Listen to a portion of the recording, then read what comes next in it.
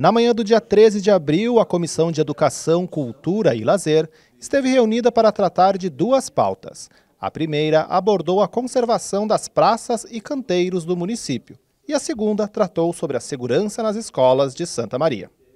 A Comissão de Educação aprovou a realização de uma audiência pública para tratar sobre a questão da segurança nas escolas do município para o dia 26 de abril, às 5h30 da tarde, no plenário aqui da Casa. Nós vamos convidar todos os entes envolvidos da segurança, a Associação de Pais das Escolas, gestores, mantenedoras, eh, a parte da os órgãos de segurança do município para pegar uma sugestão de como trabalhar isso.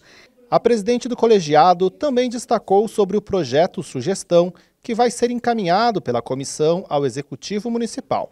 Essa matéria sugere a obrigatoriedade de instalação de detector de metais nos acessos das escolas da rede pública municipal.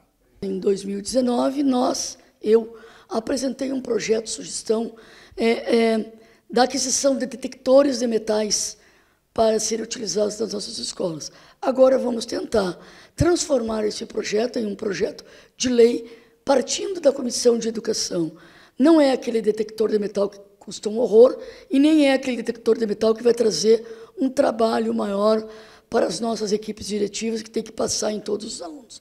É aquele detector de metal, aquele simples, que qualquer suspeita, porque nós, professores, não podemos revistar a mochila do aluno, os pertences do aluno.